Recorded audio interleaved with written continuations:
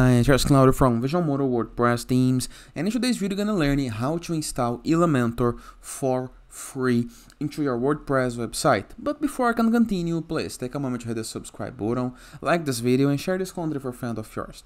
You have no idea how much it helps us, okay? After this, go to your WordPress dashboard. How to access your WordPress website dashboard, this page, this internal pages of your site. Enter onto the browser address bar with your domain.com or domain.net plus WP admin or WP login. You're gonna be able to see a login page where you need to enter with your username or email and password, okay? You create this when you install WordPress on your site. Sometimes some hosts let you access WordPress from the host dashboard, so, so from the host panel, okay?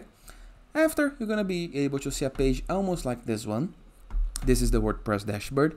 Review the left sidebar of menus, and next to appearance, you're gonna be able to find between appearance and users a submenu, a menu called plugins. Hover a mouse over it and click into the submenu, add new plugin. Into the upper right corner of your screen, there is a field called Search Plugins. Click into this empty field and type Elementor. And here is the guide we are looking for. Elementor Website Builder, more than just a page builder. It have 10 million active installations, so there are plus than 10 million sites using Elementor. So all I have to do is click on install now.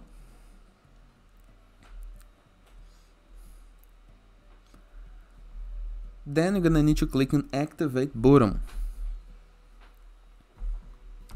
Elementor is already present on your site. Then Elementor gonna try to make you upgrade to their pro version or gonna try to make you create an account on their website.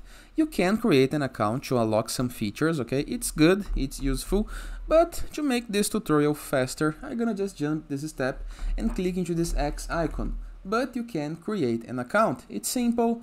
All you have to do is enter with an username and emails, okay? It's not that hard. And you're gonna unlock some features, okay? In the case that you don't want to create an account, all you have to do is review the upper right corner of your screen.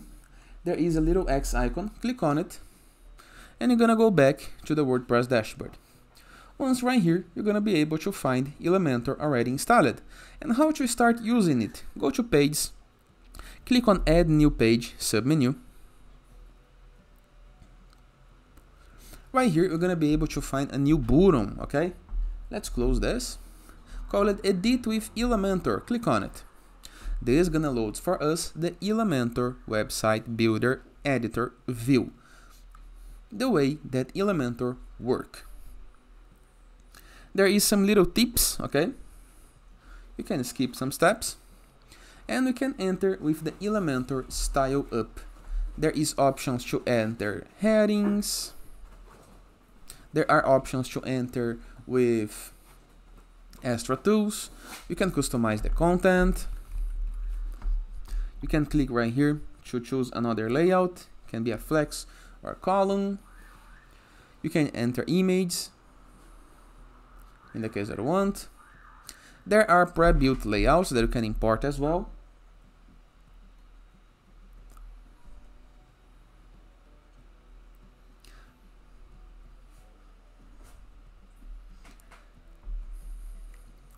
There are some pre-built blocks.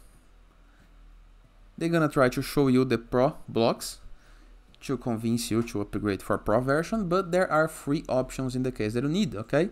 So nothing to worry. You just need to take a little bit of time in order to understand how it works. Simple, easy, and very, very effective.